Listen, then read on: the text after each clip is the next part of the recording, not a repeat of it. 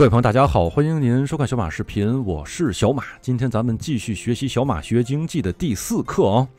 嗯，今天的标题呢，大家请看，联合国的份子钱。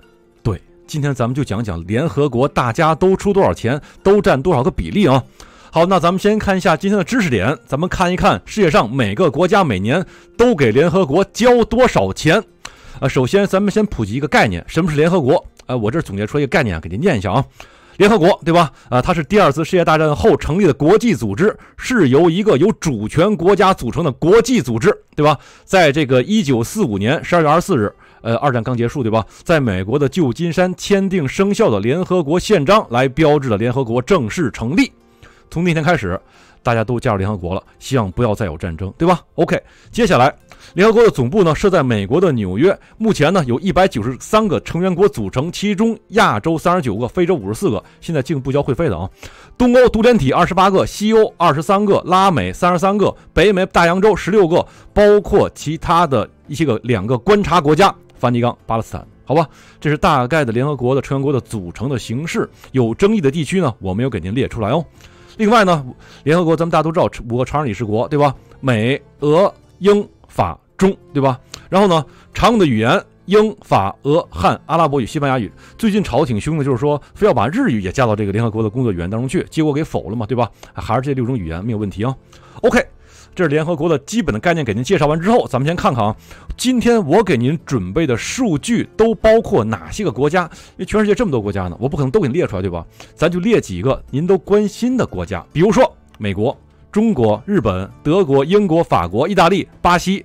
呃，加拿大包括俄，包括这个俄罗斯，他们都占联合国的交钱的比率是多少？今天我给您列出的数据项目是，大家请看，一个是分担比，每人，比如说我交十亿美金，对吧？那我交十亿美金占联合国所有的成员国的费用的百分之多少啊？对吧？这个您得知道。然后呢，每个国家分摊的额是多少？好不好？咱们马上开始哦。大家请看。这就是我给您总结出来的数据，大家请看，过去的这几年间，我呢给您做了一个比例，咱们一起来看一下啊。呃，首先咱们先看一下二零一九年各国家应该负担的比例。这地方呢，我给您列出来一个以千美元计算的数据，这个不好看，没关系，我呢给您整理一下，跟咱们上期一样，我给您整理一下。咱们看下一张图，大家请看，二零一九年各个国家都要交多少美元呢？大家请看，美国二零一九年的负联合国的负担额是六点七亿美金。中国三点七亿，日本二点六亿，德国一点九亿，英国一点四，法国一点四，意大利一亿，然后巴西九千万，加拿大八千三百万，俄罗斯，大家请看，俄罗斯这么大的国家，国土这么的广阔，结果它的负担额只有七千三百万美金。大家请看，为什么日本都说我我的日语为什么不是联合国的工作语言？大家请看，他交多少钱？日本给联合国会费每年交。二点六亿美金，所以说日本心里很不平衡，对吧？凭什么我不是这个我的这语言不是联合国的工作语言，对不对？好看完这个金额还不算，咱们看看他们分别占的比例。大家请看啊，美国打二零一零年到二零二一年，它占的比例是没有发生任何改变，都是占联合国所有成员国会费的百分之二十二，好吧？然后咱们再看中国。中国非常重要啊！从二零一零年占的三点二百分之三点二，慢慢的在增加，一三一五年变成百分之五点一，一六一八年百分之七点九，现在这个三年的计划是百分之十二。大家请看，中国在联合国占的比率越来越高。这就是话语权嘛，对吧？就就好比咱们一个家子，这一个家庭，对吧？赚钱多的人肯定说上句嘛，对吧？意思一样，我会费交的多，我就要说上句。但是呢，美国一直交就不少，对吧？所以导致最近的特朗普不太想给联合国交会费了啊。好，咱们看啊，呃，日本，日本一开始大家注意看，日本一开始呢担当联合国会费的百分之十二，现在呢在逐年递减，对吧？咱们看看这张图，你会发现逐年递增的。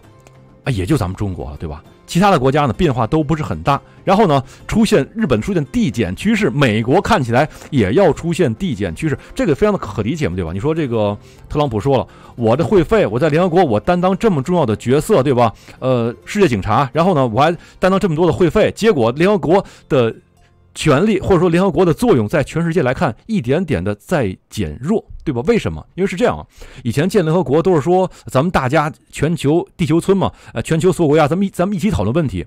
慢慢慢慢的到现在会发现吧，嗯，这个国家呀组团儿是吧？